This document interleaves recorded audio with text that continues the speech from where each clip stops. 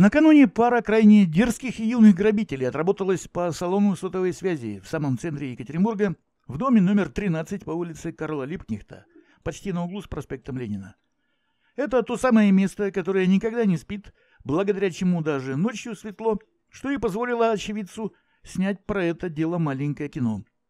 Исполнитель главной роли собирал добычу внутри офиса, куда он запросто попал, всего лишь выбив оконное стекло – а актер второго плана на переднем плане ждал под окошком и держал рюкзак шире. Такая тактика позволила им прийти к успеху. Может быть, если бы гребли вдвоем, то утащили бы и больше, но тут главным было унести ноги. Ну и в конце концов победителей не судят.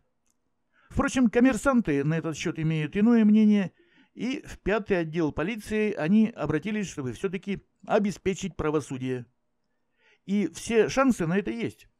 Вопреки устоявшемуся предубеждению, полиция очень эффективно работает по поиску и отлову магазинных воришек, и доходят дела до суда.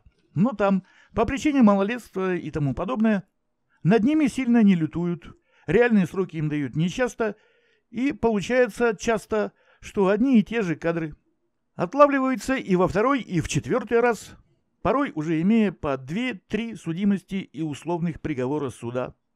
Но это все в будущем, а пока полиция ищет, а коммерсанты калькулируют ущерб и, наверное, размышляют о том, что подобная открытость, без модных в 90-е решеток, при сегодняшних реалиях может быть и излишней.